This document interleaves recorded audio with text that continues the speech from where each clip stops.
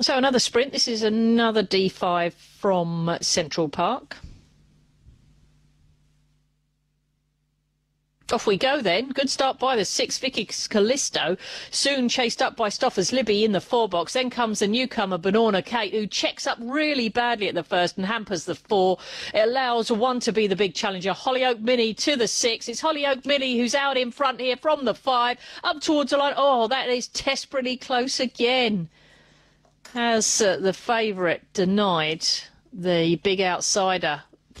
Oh, photo at Central Park.